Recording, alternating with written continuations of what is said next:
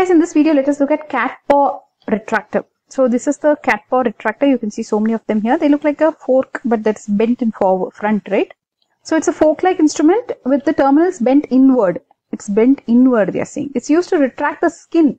So understand that this is a sharp edge. So you will not retract lid or something. You're retracting skin, okay?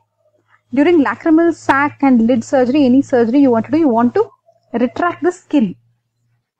Actually, this became a little more of the uh, ENT. Just look at this anyways. The frontal uh, mucocele like this, they are retracting actually. This is trephination.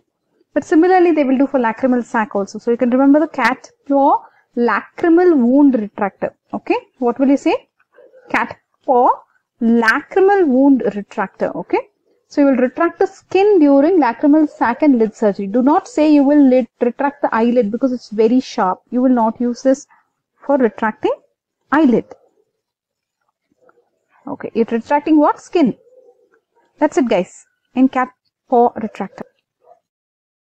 Guys, look at this. This somebody has to hold them apart, right? There is something which can um, hold itself, like see, self-retaining lacrimal wound retractor is also there.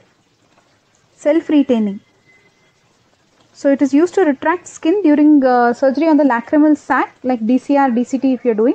So basically this is self-retaining, this is Muller's retractor. Okay, look at this. This is also very sharp, so don't say anything other than skin, okay. And it's self-retaining, it has a screw and, and all that, right. So definitely it will be self-retaining. What is it?